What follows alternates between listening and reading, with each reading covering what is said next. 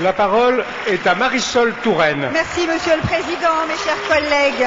Monsieur le ministre du Travail, c'est avec beaucoup de gravité que les socialistes s'engagent dans ce débat. Parce que c'est un débat décisif pour l'avenir des Français.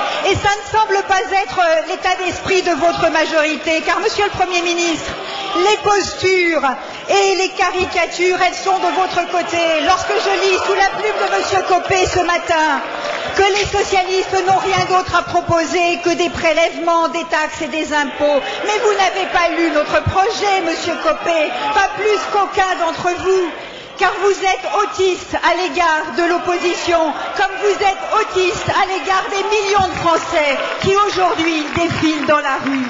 Oui, nous avons un projet. Ce projet, ce n'est pas le même que le vôtre. Ce projet, il est juste. Ce projet, il est financé. Ce projet, il est efficace.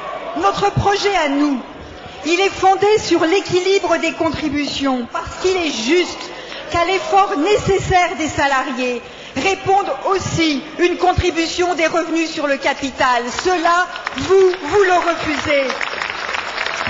Notre projet à nous, il dit qu'il faut évidemment tenir compte de la réalité des parcours professionnels. Est-il normal que quelqu'un qui a commencé à travailler à 16 ans, 20 ans, soit traité de la même manière qu'un professeur d'université?